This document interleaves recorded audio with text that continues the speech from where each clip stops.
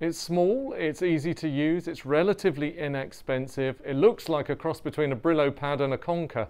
But this tiny invention, according to the latest research, is already saving lives.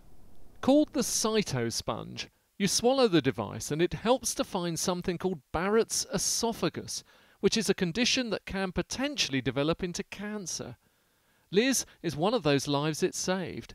She had no idea she was ill, but volunteered to try the device out out of scientific curiosity. I was just interested in the trial. I'd never heard of Barrett's esophagus, which is what this is looking for.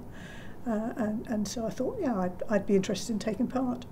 Uh, and I was very lucky because if I hadn't, I wouldn't be sitting here now feeling perfectly healthy. The idea is simple enough. Once in your stomach, the casing dissolves, leaving this wiry looking sponge behind.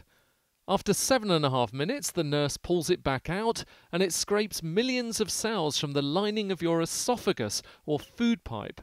The cells are the white bits floating around here, and they're checked for the Barrett's condition, which could be an early sign of cancer. I think the impact could be huge because this is such a, an aggressive cancer.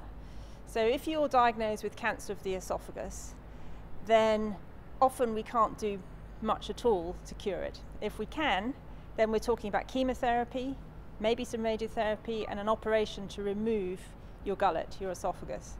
If we can detect it early, it's a completely different ballgame. So if you've got an early cancer, you may not even know you've got it yet. We can treat it down the endoscope. We can do microsurgery down the endoscope. We can burn away the lining that's going to be an outpatient treatment. You'll be home the same day and we can cure it. Their latest national trial found that the cytosponge can diagnose 10 times more cases of Barrett's esophagus than the current method. They hope it'll be routinely available in the next few years. The quicker, cheaper way of spotting the early signs of esophageal cancer.